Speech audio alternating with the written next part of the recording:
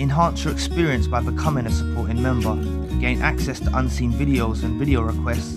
Three day free trial by visiting zionmembership.com. Chosen ones, empaths. In the narcissistic community, you'll hear that some people say narcissists do love and others that don't. But really, this boils down to um, the narcissist involved in your life. You know, when they first come across you, they did love you, not a healthy love, more of an obsessive kind, a weird love, not a healthy love that you deserve. But it is love nonetheless in their own warped, twisted reality that they live in. A really messed up kind of love, you know? I did have some notes for this uh, video. Um, what you got to understand is the meaning of love to them isn't the same. You know, you as survivors of narcissistic abuse have to realize that the narcissists involved in your life are not devoid of emotions. They do have emotions. It's just their motives and intentions are corrupted or deranged, really. Right? Also, the narcissists involved in your life, they love the supply they get from the target. So this all boils down to love, right? Like I said, it's unhealthy, it's weird, it's twisted, it's deranged. It's not the love you deserve, right? But you um you know when the narcissist involved in your life loves the victim, the love is not healthy or good, it's toxic and harmful, right? And the narcissist does think the love, they love the target in their own mind, heart, and soul. It's more that they don't understand that their version of love is not normal, nor do they care as long as they get supply, right? So in their own minds, they think they love you. They they don't have the comprehension to realize that they that they don't actually love you in the correct way, you see. But what you've got to take into an account is um these narcissists involved in your life, they love your supply. That's that's what it boils down to as well. They love your supply source. They love what energy you give them. They love all of that, right? So I don't want any of you coming out of these narcissistic encounters with a narcissist involved in your life and thinking, was the whole thing a lie? Did they not love you? They did. They they loved you to the best of their ability, right? And it's strange, it's bizarre, it's weird, and it's not what you deserve. You deserve so so much better. Right? So you don't need to worry, right? You don't need to worry about is the narcissist involved in your life? Did they love you? Was the whole thing a lie? You know, like even when they're loving you at the initial period during the love bomb, for instance, um, they're showing you that version of themselves to get a reaction from you. Everything comes down to trying to spark a reaction from you. So they're offering you that the best version of themselves, so to speak, so your guard comes down, so you open up, right? It's not, but they, they're obsessed with you at that point. They are absolutely obsessed with you at that point, you know? But through the course of time, it gets more and more weird, you know? Their obsession starts to change. As much as I spoke about they love supply from you, they also love negative supply from you. It's still love, you know? And this negative supply could involve hurting your feelings, making you upset, you know? But it's still coming from their warped version of love, you know? Them hurting you, them they love to do that. They love to do this to you. You see? The word love is always present. So don't believe because I've seen some of the videos. I'm not knocking any other videos. They've got their own reasons why they're trying to inform you that way. But it leaves you feeling cold, you know? Because there's nothing worse than a victim of narcissistic abuse coming out of a narcissistic relationship and thinking the whole thing was a lie. They are liars. The whole thing is fake and stuff, yeah. But it's in their own minds, they think they're loving you, you know? They think they're loving you. Look, for instance, um, let me bring up a scenario. Um, narcissists often will cling to your possessions. So after you go east, they go west. Narcissists involved in your life will often keep trinkets of you. Could be, it could be anything. It could be clothes. It could be anything. It doesn't have to be anything in particular but they'll they'll cling to that possession. So they feel like they've still got a connection with you of some sort you know? Um them spying on you for instance these narcissists involved in your life them spying on you whether it's online or physically spying on you stalking you or whatnot they they in their own minds feel like they they've got some form of connection with you. They always feel that there's some sort of connection even if you've told them you want nothing more to do with them, you don't want to speak to them, you've door slammed bolted and welded it shut, this narcissist will always feel a connection with you. Now that's coming from their warped version of love, right?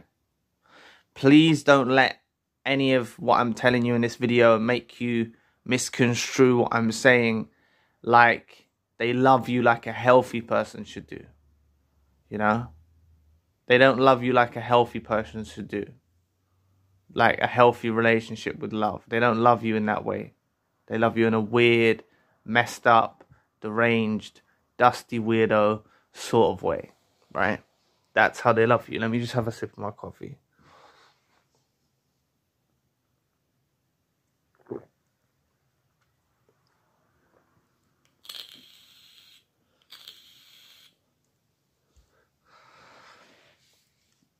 But the question always does arise do narcissists love? And you need to understand that they do. They are obsessed with you, or they were obsessed with you. And you may not have spoken to them in a long period of time now, or had no affiliation to do with them, and you're scratching your head thinking, wow, was the whole thing a lie? Um, they they don't get over you, you know. They'll always remain obsessed with you even if they're doing that in secret and it's just them, you know, maybe not physically stalking, but them spying on your social media or making fake fake profiles to contact you or something like that. They like to keep the connection there because they can never let go, you know. They can never they can never honestly let go. So you don't I just I I don't want any of you coming out of the situation like what you got to understand is you I don't want you coming out of the situation with this narcissist involved in your life thinking that they hated you. Um, their actions of love might be perceived, can be perceived as hate or disgust or pain, you know, but it's actually coming from their messed up version of love. They don't know how to love sincerely. You know, love for the other. Love for the other. You know? Like, not love, like, as well, they love you from what they can gain for you, from you. And not even uh, many, many, many relationships, not even narcissistic relationships, have that kind of mind state, you know, where they get involved in relationships for what the other person can give them in life, you know? And really, it's about love for the other. And it reminds me of a, uh, a rabbi um, I've mentioned this before, but he saw a young boy and he said, "Boy, why are you um, why are you boil? Why, why are you eat? Why are you eating that? Why are you eating that fish?" And the young boy replied, "I love eating fish." And he, and then the rabbi said to him, "You don't love the fish. You took the fish out of the water, you boiled it, you cooked it, and you ate it, you love what it does for yourself. You don't love the fish. And to understand what he was trying to say, and I'll just elaborate a bit more, is that's love for self. You see, the analogy there of the boy cooking the fish, eating the fish, tasting the fish, that's love for the self. He loves the fish because what it does for himself. And that's like how the narcissist loves you. They love what you provide them for themselves, the supply, all of that. But real, genuine love is love for the other. You know, you're not going into it with intentions of gaining something from them, whether it's gaining status or gaining finances or gaining whatever it could possibly be that you could gain from a relationship. You're not actually you're not actually getting involved with this person from what you can gain. You're you're you're you're merely connecting with another individual in a romantic sense because you love them, you love them for them. You know they're not perfect, but you love them wholeheartedly for for them being them and you're not actually trying to obtain anything from them. You're not trying to gain anything from them. You just want to connect and be in a unity, you know, with with your spouse or your partner or your boyfriend or your girlfriend. You wanna you wanna be in it in it in, in unity with them, and you love them. You it's love for the other. So the things that you do for them by the best of your abilities, the things that you do, you don't do these things so you get something back it's not bargaining, right? Like the narcissist will do things to you so they can get something back from you. That's not how real, genuine love is. You do things so um, you, you, you, you give freely from your heart out of love. You're not expecting anything in return, you know?